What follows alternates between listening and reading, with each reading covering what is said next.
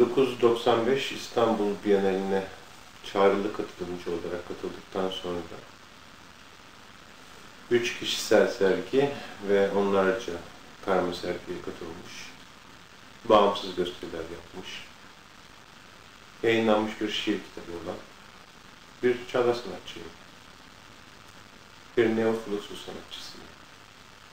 Ressam, şair, grafik tasarımcıyım video performans üreticiyim. Makale yazarıyım. Tekstil tasarımcısıyım. Ocak 2005'ten beri İsveç'te yaşıyorum.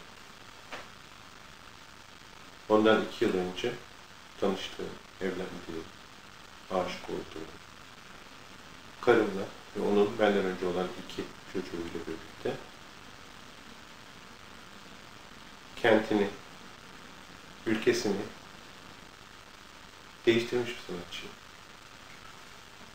Ocak 2005'te e, Stockholm'e indiğimde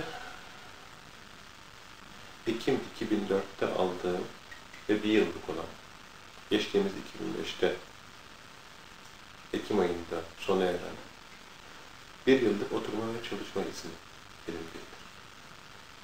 Pasaportuma yazılmıştı. Geçtiğimiz Ekim ayında e, biten bu süre için, uzatılması için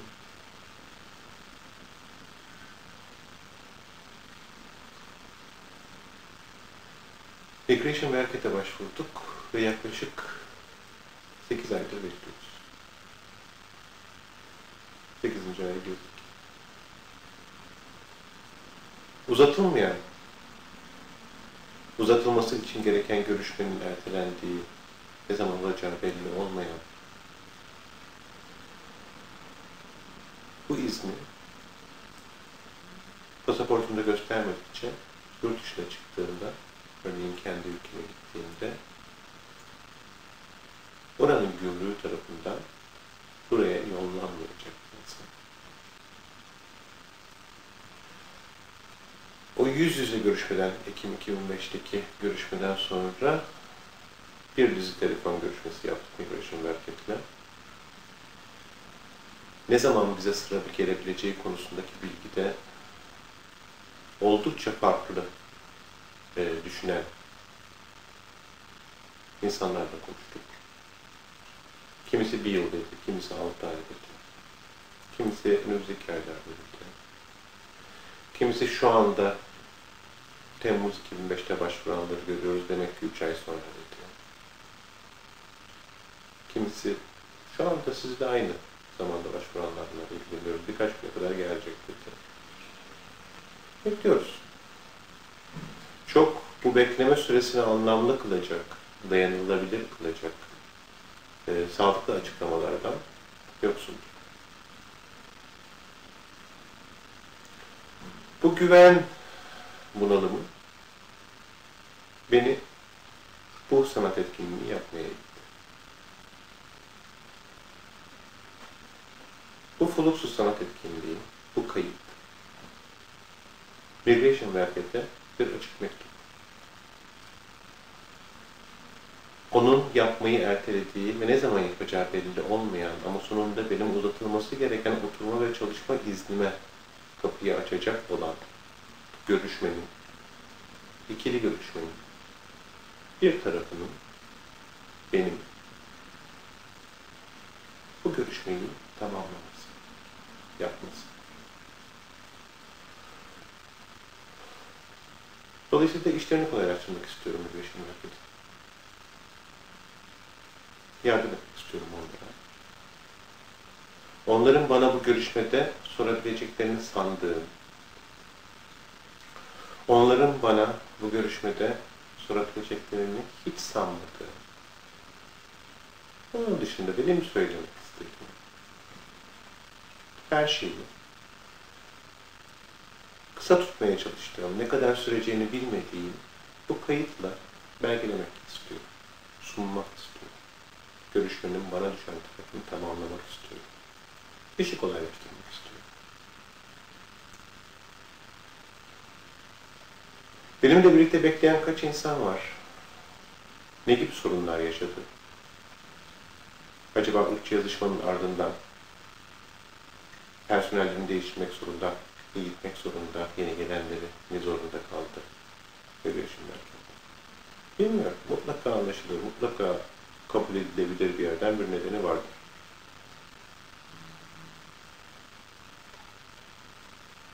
Ama sonuçta e, pratik olan yapı, pratik olarak yapılan şeyin kendisinin benim seyahat özgürlüğümü yok etmek olduğunu, baskıya almak olduğunu düşündüğüm bir yerden bu sanat etkinliğini yapıyorum. Ne yapacağım? İçimden geldiğince kısaca toparlamaya çalışarak Ocak 2005'ten bu yana bu ülkede ne yaptığımı, ne yapmaya çalıştığımı, ne düşündüğümü, neler gözlediğimi, önümüzdeki günlere, önümüzdeki zamana nasıl baktığımı aktarmak istiyorum.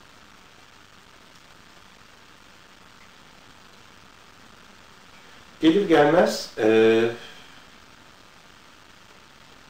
hayatımın yeni bir yaşama formu olan bir aileyle, iki çocuklu bir aileyle, üstelik ilk defa olduğum bir ülkede ve ilk defa olduğum bir kentte yaşayabilmem için e, gereken geçiş sürecini bir taraftan geçirdim. Yeni ülkenin, yeni kentin, yeni evin, yeni yaşama biçimini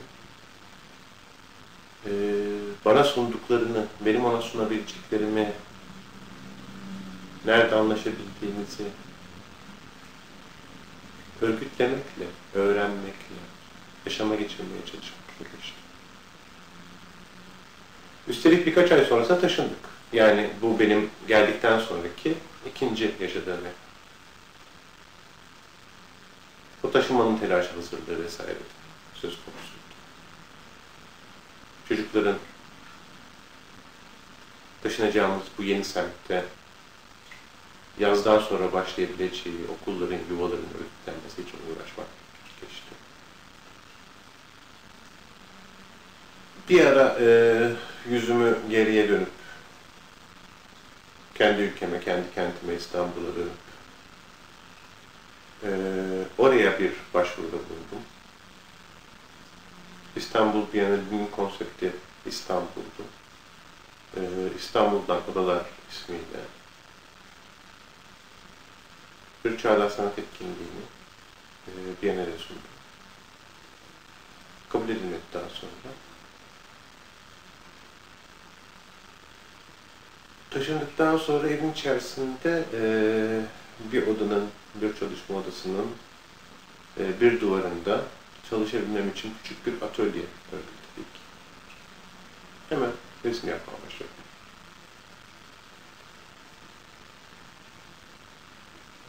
Eski bir kişisel sergimin ismi olan kent resimleri. Ee,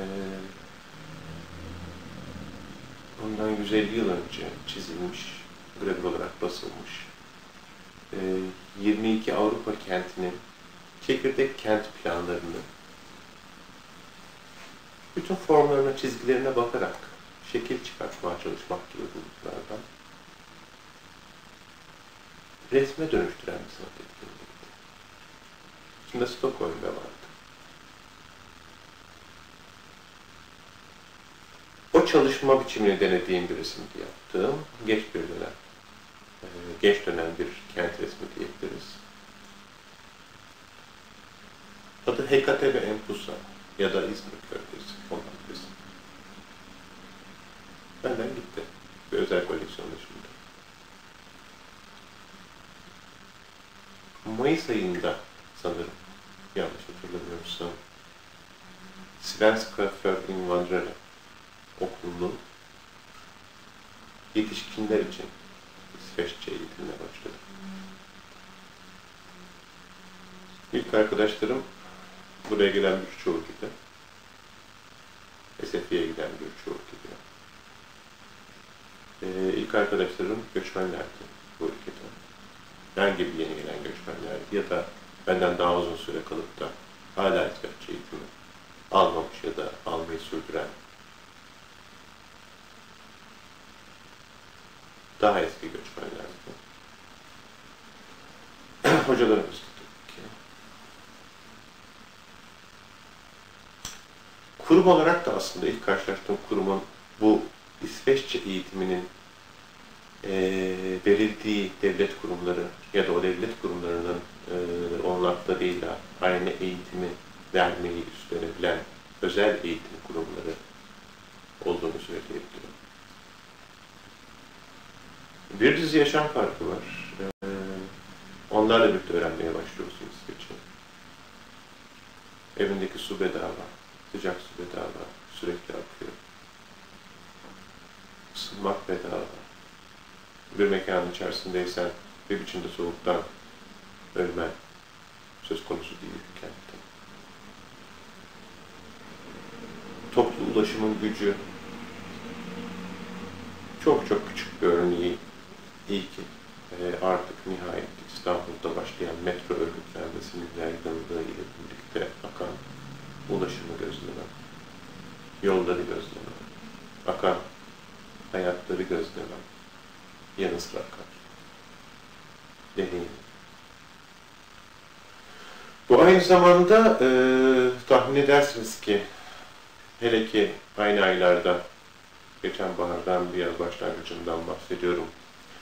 Ee, yaklaşık 4000 kare fotoğraf çekmek için bu kenti Banliyö hattından bir ucundan bir ucuna neredeyse her yerini gezen bir sanatçı olarak yaşadığınızı cümleyi buradan kurma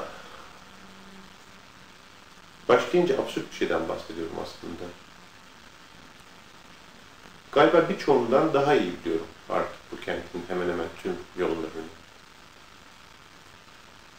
Sosyal dağılımı, et, etnik dağıtım, dağılımı, e, değişen kent dokusu, e,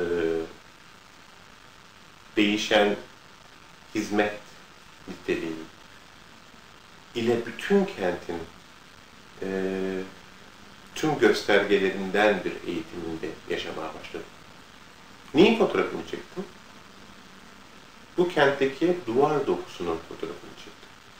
Yani yasalarınızın bir şekilde suç dediği yapan insanların yakalanması için poliste özel timlerin oluşturulduğu şeyin, grafiti kültürünü, duvar yazısı kültürünü, şablonların, etiketlerin, onların üzerine yapıştırılan yeni şablonların, yazılan yeni yazılar, hepsinin karmaşasını, onların silinmeye çalışısını, altlarında kalan izlerini, üzerlerine yeniden yapışlarını, ee, semtten semte yine çevreden merkeze doğru stillerin değişiminin, bütün o yazılarda, bütün o dokularda, renklerin değişiminin, stillerin değişiminin, sözlerin değişiminin, oradan geçen yolcuyla ilişki kurma biçiminin değişiminin takipçisi oldum.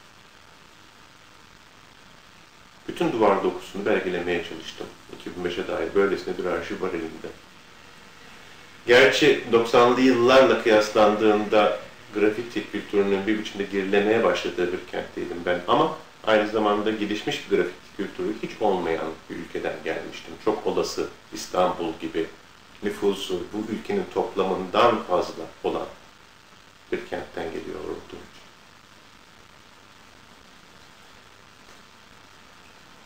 Wallpapers isimli e, bir fotoğraf sergisi projesi gelişti bunun içerisinde. Yaklaşık en az 250 fotoğraftan, en fazla 400-450 fotoğraftan oluşabilecek bir sergi bu.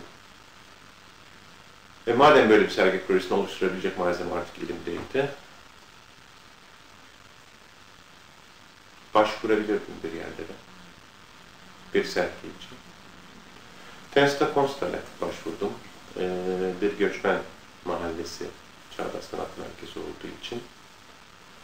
Ama onun da herhalde e, tam da daha sonra konuştuk e, yönetici arkadaşlarla. Tam da e, bir göçmen mahallesine özgü çağdaş sanat üreticisi kurumu olmak çabasından, örneklerinden vazgeçtiği, şehrin göbeğindeki bir çağdaş sanat merkezinin programı ne olacaksa aynı türden programı hiç ilişki kurmasa bile çevresiyle, böyle bir şansı hiç olmasa bile yapmanın anlamına inandığı bir sürece girmişti ne yazık ki. Sanırım bundan bir de gereken baskı maliyetini bekle karşılayamayacağından ya da destekçi firma bulamayacağından dolayı reddetti. Ama hoşlanmıştı aktardığınca arkadaşım. Aynı süreçte başka bir tanıklığı yaşamaya başladım. Bu sefer bir rapordan, bir araştırmadan, karımın bizzat yaptığı bir işten, onun yanında olmaktan, onunla birlikte okumaktan bazen, ona yardım etmekten.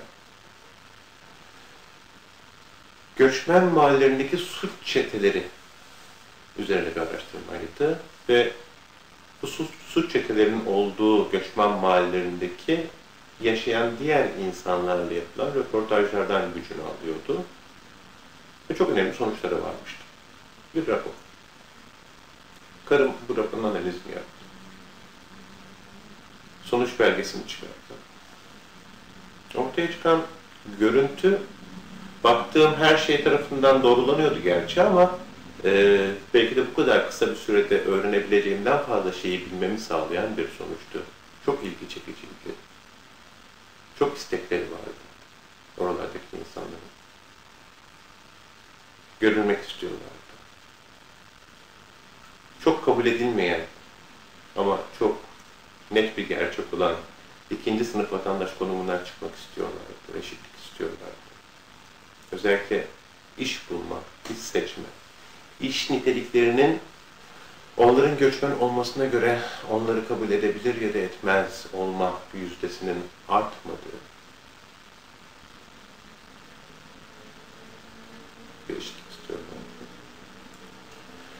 Genellikle çoğunda saat 7'den sonra hiçbir İsveç kamu görevlisi kalmıyordu. Polis dahil. Ve zaten öylesine bir gerçeklik içerisinde palazlanan ve neredeyse ister istemez aynı zamanda o bölgenin o saatlerdeki güvenliğini de sağlayan suç çeteleri çok oralara özgü yepyeni bir yaşama kültürünün, yaşama biçiminin, alışkanlıklar toplamının geliştiğini ve gelişeceğini gösteren bir göstergeydi. Belki de yapabildiğim tek iş, iki işten biridir. Ee, o dönemde aynı zamanda Türk İşçi Sendikaları Konfederasyonu'nun e, aylık yayın organı birliği bir sayılığına tasarladım. Çok e, içeriğiyle var olan bir dergi değildi. Tasarlamanın yanı sıra 20'ye yakın yazıyı içine sokup bütün içeriğini de zenginleştirmeye dedim. 6 ya da 7 fotoğrafımı birisi kapak olmak üzere bu tasarımın içerisinde o dergiye sundum.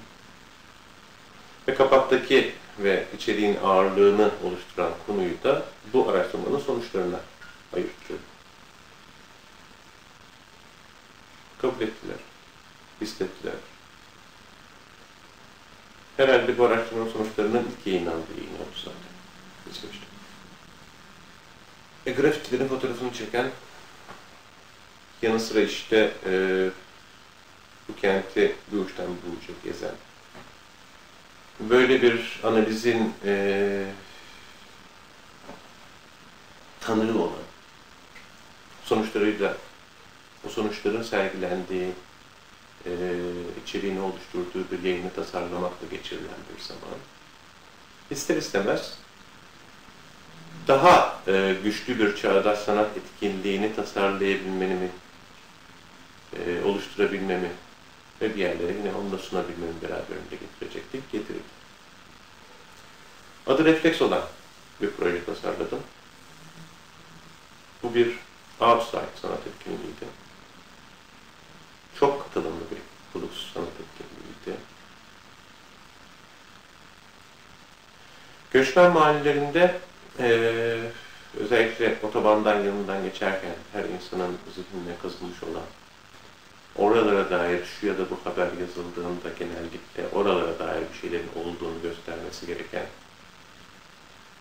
yöre fotoğraflarını basarken gazeteler kullandıkları silüetleri vardır o göçmen mahallelerin.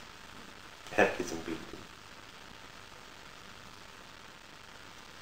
O silüetleri, o büyük, uzun sitelere ve e, yüksek yapılara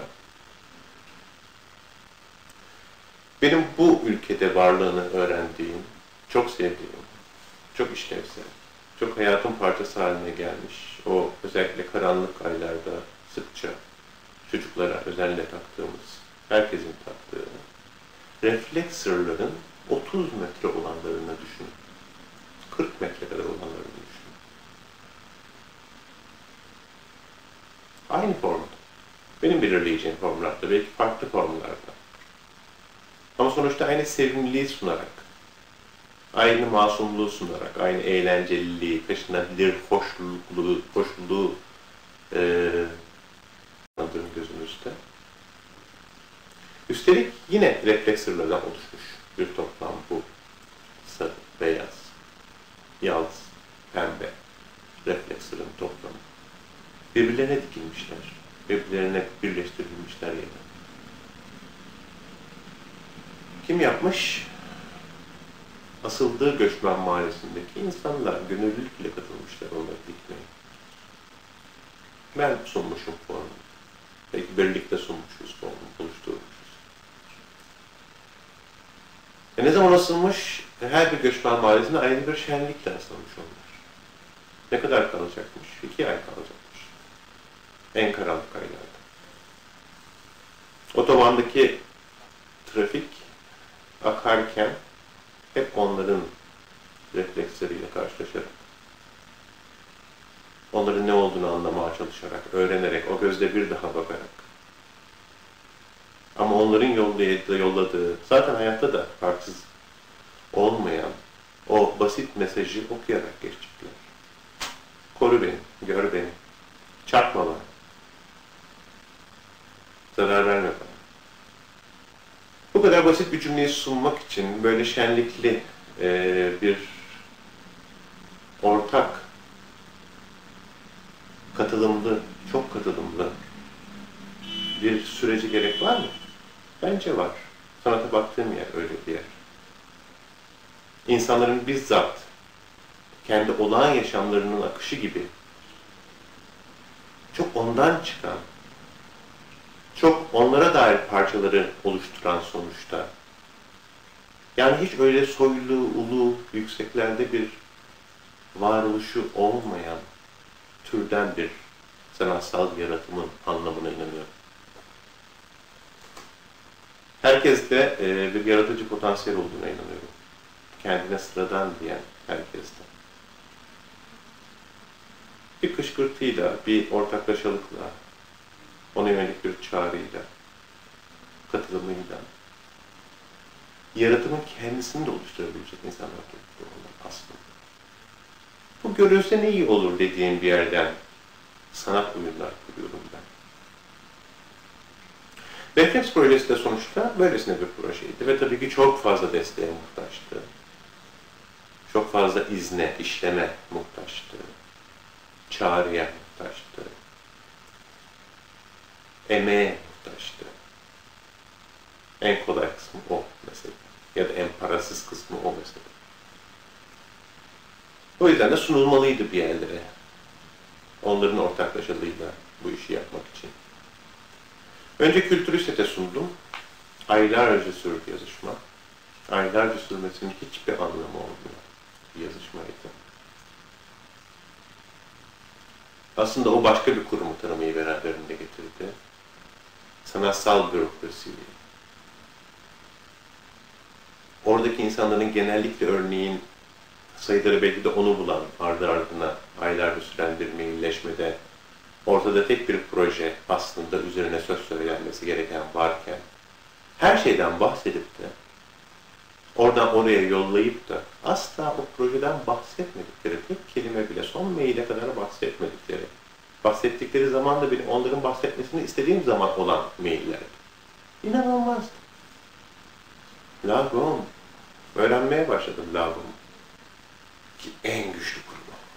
En derin kurumu her yanı saran o.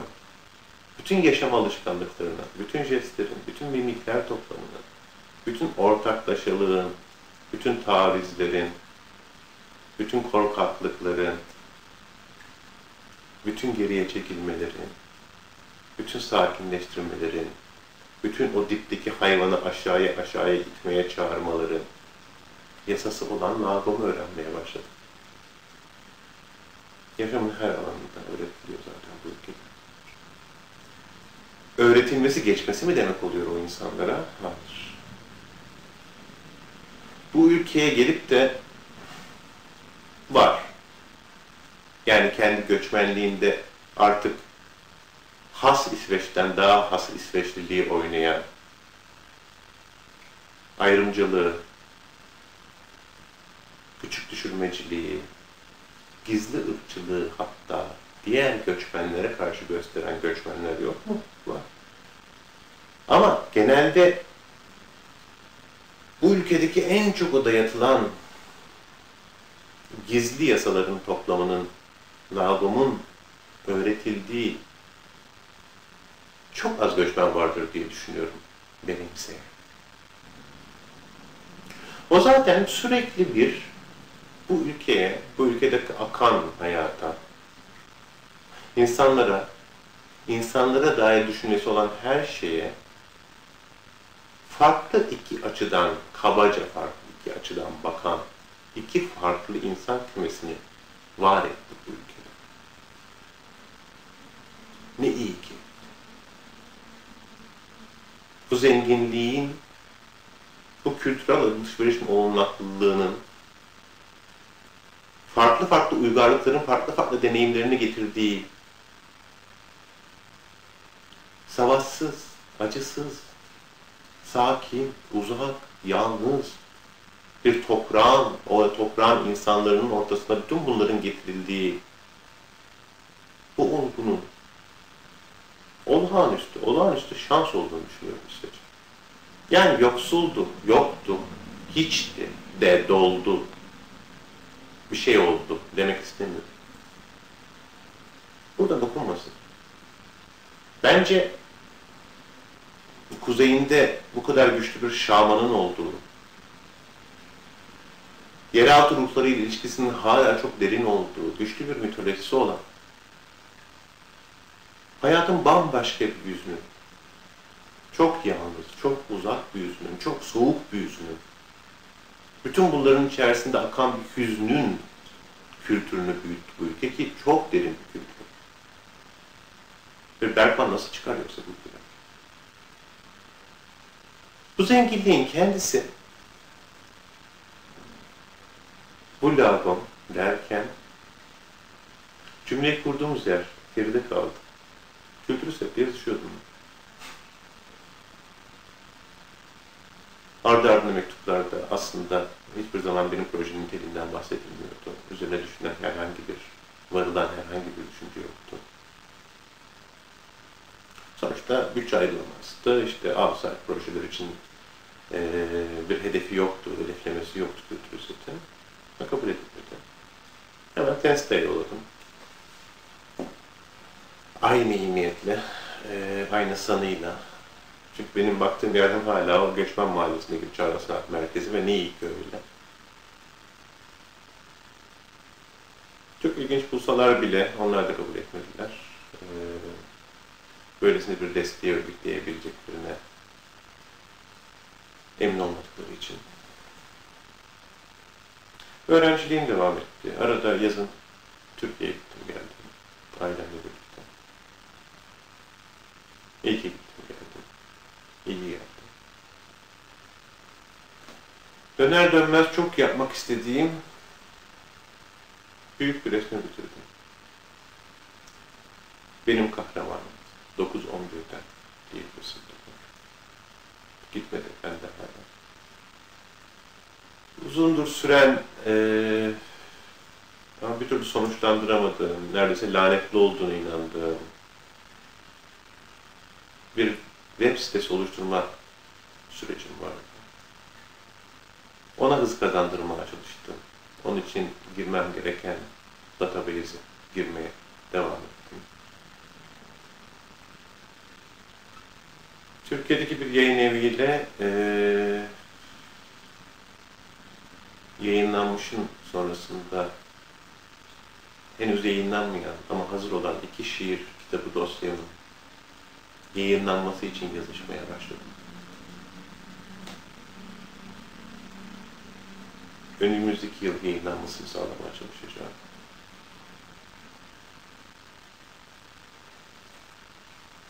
Bu süreçte e, aynı zamanda sanatçı desteği veren e, sanat örgütlenmelerini, kamu örgütlenmelerini, meslek örgütlenmelerini, belediye örgütlenmelerini, sağlık örgütlenmelerini, olanaklarını inceledim. Başvurmaya karar verdim birkaçına. Atölye sırasına girdim. Yolladığım portfolyoya gitmiştim. Hemen kabul etmeleri için. Zaten çok yakın bir zamanda bir atölyede oradan ama benim çok büyük çok pahalı bir atölyeydi. Hala sıradayım. Atölye desteği için başvurdum. Hmm. Refleks projesine destek bulmak için başvurdum. Gelir gelmez e, yüzümü dönüp kendi kentime başvurdum dediğim, Biennale başvurdum dediğim Odalar Projesi'ne destek almak amacıyla bir başvurumda kullandım. E, toplamından Lagom isimli bir resim ağırlıklı sergi projesi geçti. Ona destek için başvurdum. E, kendi ülkemde ve burada e, çok yolumu açmak için, destek olmak için bir yerlere birkaç tasarım yaptım. Bu başvurularımın çoğunun cevabı çok yakın zamanda gelecek. Ve o cevapla birlikte aslında e, ne ölçüde yaratmaya zaman ayırabileceğimi önümüzdeki dönemde öğrenmiş olacağım.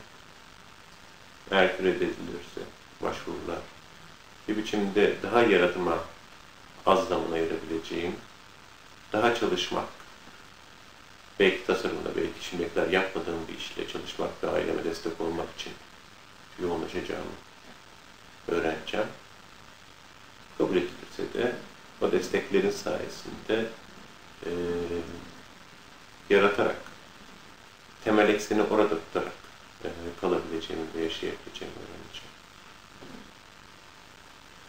Çocuklarımı çok seviyorum. Karımı çok seviyorum. Ülkeye giderek daha çok sevmeye başladım. Kültür setle yazışmanın aslında buraya gelmeden önce İstanbul'da başlamasının nedeni olan bir üretimim vardı, bir yaratımım vardı. Ee, 2000, Ekim 2004'te oturma ve çalışma izni cevabı kabulü e, bana iletildiğinde ondan iki ay, üç ay öncesinde onlara sunduğum bir sanat nesnesine bakarak karar vermişlerdi. Görüşme tabii yapılmıştı o görüşmeyi ben onu da götürmüştüm. Benim Creation Market'e sunmuştum. Hakan Akçura'ya aşkına ve kişiliğine dair, kimliğine dair ismini taşıyan bir sanat nesnesiydi. Tanıştığım ilk günden bu yana e, gelmemin nedeni olan ilişkimin, evliliğimin belgeleri, her aşamasının fotoğrafları, ekran resimleri, ardındansa benim e, yaratıcı özgeçmişim, basılı kataloglarımın sayfaları, hakkımda yazılan eleştirilerin küfürleri, yapılan röportajların küfürleri, içeren kimliğimi, e, sanatımı, ismimi içeren web sayfalarının çıkışını kapsayan bir kitap çıktı. Fotoğraf sanatçısı arkadaşım Fırat Erez de Ee, bu kitapçığın sayfalarını her çevirişinin fotoğrafını çekmişti. Üstten. Onlardan oluşan e, toplamı ise bir diye gösterisi. Belki de her biri ayrı dijital baskı olabilecek daha büyükçe bir sergi olarak sunmak isterse ben cevabı beklerken kültürse deyip onlara proje olarak sunmuştum. Adı oturma ve çalışma izni için olan bir projeyi. Bu kadar kısa bir zamanda sergileme olanlarını bulamayacaklarını ileterek teşekkür ederim. Ee, reddetmişlerdi. Günden bugüne bütün bu akan süreçle birlikte onun gibi dört tane sanat kitabı oluşturulmak isterse oluşturulabilir. Yoğun aktığı zaman, yoğun aktı hayat. Bir çocuğum yuvada, bir çocuğum ilkokulda. Bir hafta bizdeler, bir hafta babalarındalar.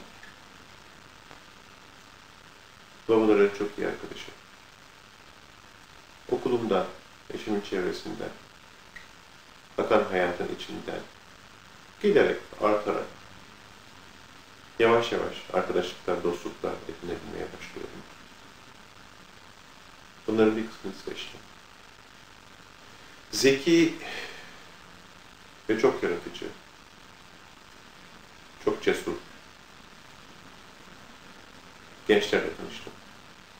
Bizzat o grafiti kültürünün belgelenmesi adına ama onları kendi yalnızlıklarıyla değil, e, bu kentin içerisinde ışıkla, gölgeyle, bir başka nesneyle, insanlarla nasıl bütün içerisinde var olduklarına dair benim baktığım açıyı belgelemeye çalışan grafiti kültürünü belgeleyen sürecin içerisinde de tanıştım genç insanlarla. Çok daha son hikayelerde de. Çok sevdiğim öğretmenlerim oldu. 43 yaşında bir dili öğrenmeye başlamak sıkı işmiş. Bu yaşta öğrenciliğe tekrar başlamak sıkı işmiş. Bunu öğretti bu geçtiğimiz yıl bana.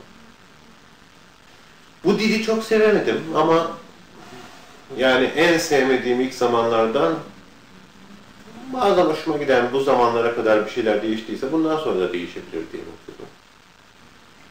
Hatta yani baştan en temel nedenim olarak kendi çocuklarımla akacak diyalog adına öğrenmek istediğim bu değil. Artık benim de yazdığım şeyleri belki de yayınlatabileceğim bir dil mi olabilir diye düşündüğüm bir dil kadar sevdiğim bir dil oldu. Doğasını çok sevdim bu ülkenin.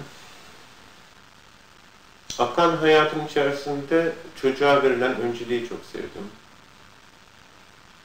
Hayvanlara saygısını, doğaya saygısını çok sevdim. Gökyüzünü çok sevdim ülkede. Ama mesela ilk öğrendiğim bilgilerden bir tanesi de tam tersi bir yerden de bu ülkeden.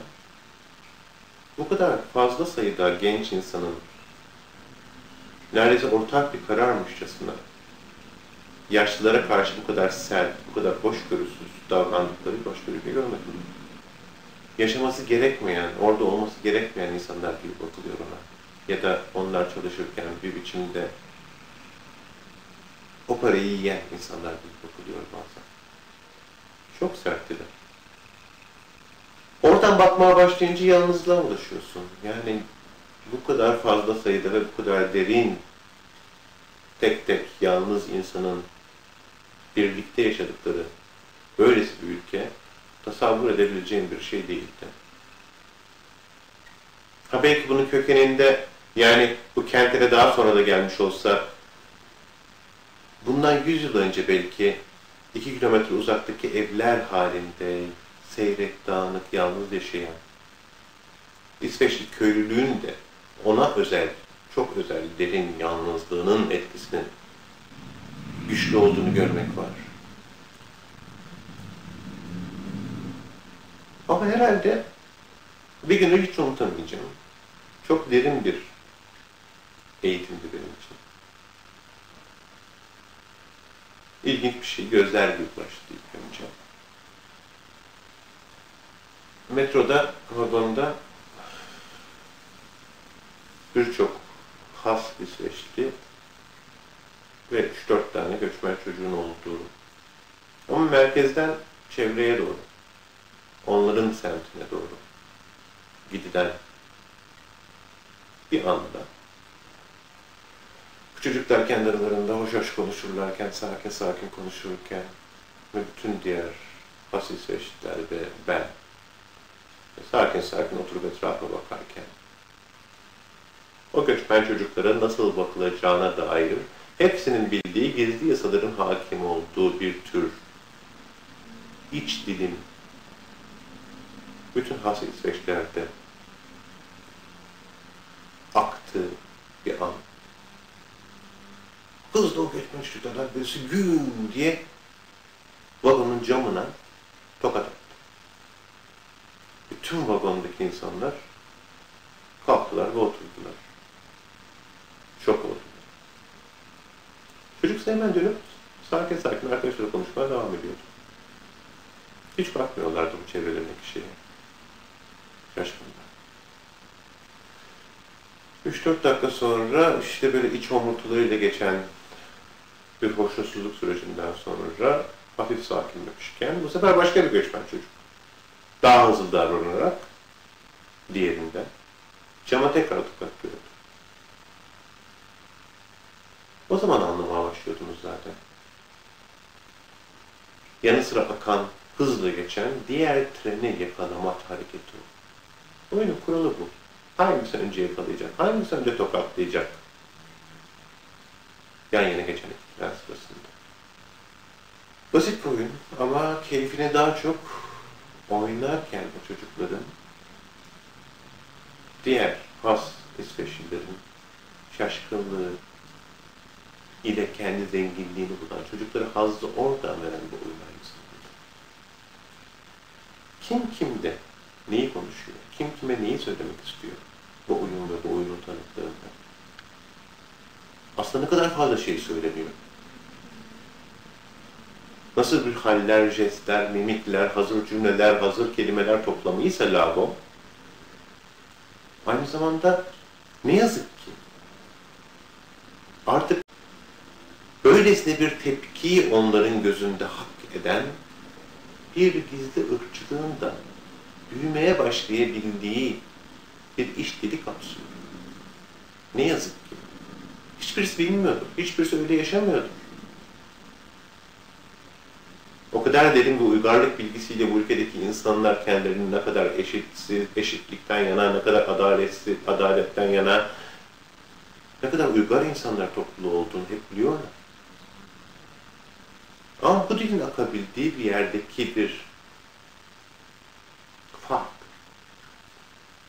Hala o insanların İsveç'te sayılmadığı, hala insanların birer imancılar olduğu, hep öyle kalacak.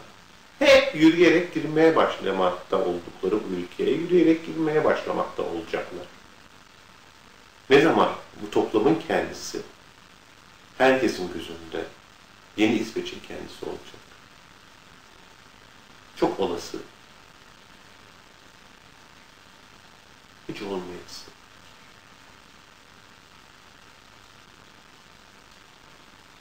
Dünya akıyor gümbür gümbür. Değişiyor. Göç her yerden her yere. Burada fark, bu göç her yerden her yere olurken genelde savaşları yaşamış, acıları yaşamış, ölümü yaşamış, yaygın ölümü yaşamış, işkenceyi yaşamış, zoru yaşamış, mücadeleyi yaşamış, daha farklı bir ateşlilikle yaşamış. Yerlerdeki insanların buna benzer ülkelere göçüyken burada hemen hemen bunların hiçbirisinin olmadığı bir geçmişin tarihini tek kahramanlık öykülerini bulabilmek için Vikinglere kadar inmemiz gereken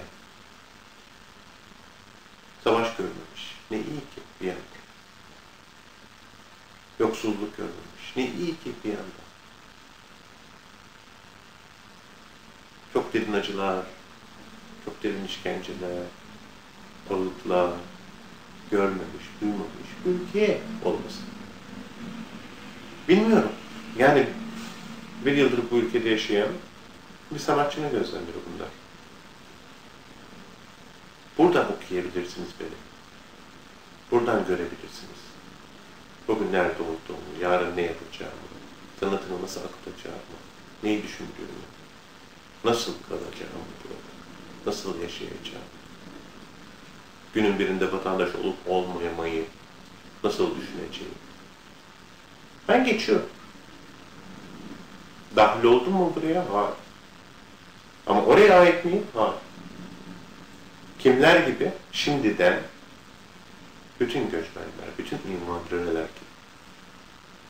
Onlar buraya ait olamıyorlar. Üçüncü kuşakları burada. Burada doğanlar. Başka hiçbir ülkesi olmayanlar. Hiçbir yerden yürüyerek gelmeyenler. Ama onlar bile kendilerini İsveç'te hissetmiyorlar. Hissettirilmiyorlar. İsimleriyle, tanımlarıyla, invandröle olmalık, olmaklıklarıyla. Ama onların başka ülkeleri yok ki. Benim var. Azalacak. Bilmiyorum. Artacak. Bilmiyorum. Ama geçiyorum burayı. Benim var. Ama bundan bir yıl önceki kadar yok. Acımasız bir dünyada yaşıyoruz. Acımasız bir dünyanın içerisinde bence çok şeyin daha şanslı akabileceği, akabildiği bir ülke burası. Bu şansın içerisinde, bu şansın olması için belki de birleşmesi gereken bu toplamın kendisine gözünü dikmiştir sanatçı. Buradan yaratmak istiyorum. Eğer akan ilişkim, aile yaşamım, çocuklarımla ilişkim, soracağınız soruların konusu olacaksa, bu soruları yoldaki insanlara sorun, okuldaki insanlara sorun, komşularına sorun. Daha doğru cevaplar alırsınız diye hissediyorum. Ve ben yazın gideceğim.